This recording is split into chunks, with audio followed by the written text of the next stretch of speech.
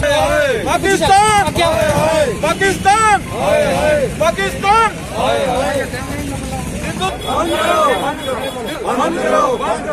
ये कसूरों का कत्ल। Pakistan. Pakistan. Pakistan. Pakistan. Pakistan.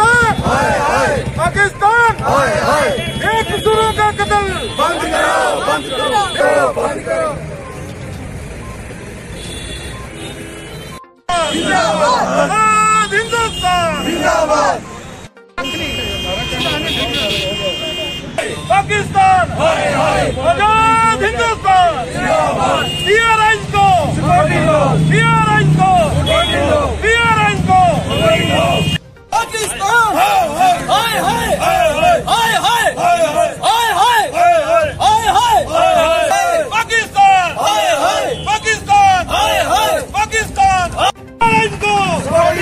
Be all right, go! Be all right, go!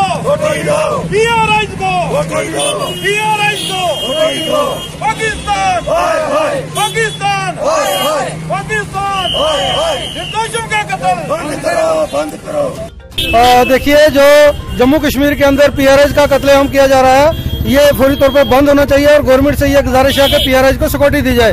क्योंकि यहाँ पर जम्मू कश्मीर में जो हालात है इस वक्त एक ही वायदेदारा पंचायत है जो आवाम और हुकूमत के दरमियान ब्रिज का काम कर रही है और पंचायत इस वक्त जो है डेवलपमेंट के काम कर रही है, सुख दुख में जो है आवाम के काम आ रही है और उनका कत्लेआम हो रहा है। जिस दिन किसी पंचायत इलेक्शन का कोई भी बिगल बजती है, कोई भी बात आती है तो किसी न किसी को शहीद कर दिया जाता है। और हमारी सरकार भी जो है सिक्योरिटी देने में नाकाम रही है और हम इस हत्या की जो बीडीसी चेयरमैन भूपिंदर सिंह जो खाक बड़गाम से थे, जिनको कल यूँ में ब्लॉक के मौका पर कत्ल किया गया, हम उसकी पुरजोर अफवाज में, हमारे पुंछ के सब पी किसी भी पार्टी से हों, सारे पी इस वक्त जो है वो प्रदर्शन में शामिल है और हम इस की मजम्मत करते हैं और हम ये कह देना चाहते हैं कि जो लोग जान हथली पर रख कर इन हालात में आवाम की खिदमत के लिए सामने आए हैं, वो पीछे नहीं हटेंगे आवाम की खिदमत करते रहेंगे।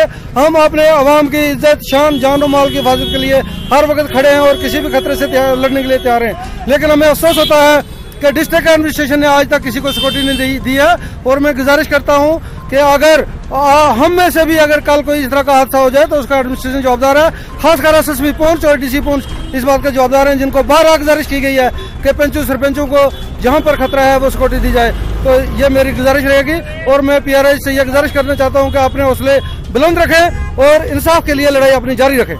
जो बड़गाम में जो ये हादसा हुआ है भूपिंदर सिंह जी जो बीडीसी के चेयरमैन थे सबसे पहले मैं सख्त से सख्त निंदा करता हूँ इस पाकिस्तान की, क्योंकि हम, हमारे जितने भी जनता है यहाँ पर, ये जनता की तरफ़ से ये यहाँ पर जो है प्रोटेस्ट किया जा रहा है, जितने भी जनता है बिल लिहाज मजलूम मिलत सभी लोग जो है यहाँ पर इकट्ठा रहना चाहते हैं, कुछ एजेंसियाँ जो है पाकिस्तान की, हमारा जितने भी लोग हैं उनको इकट्ठा नहीं रहना देना चाहते हैं, मैं इसकी सख्त निंदा करता हूँ, और अपने गवर्नमेंट से ये प्रार्थना करता हूँ कि जितने भी लोग हमारे जो बीडीसी हैं, या जितने भी अहदेदारान हैं, उनको सिक्योरिटी जो है मुहैया की जाए।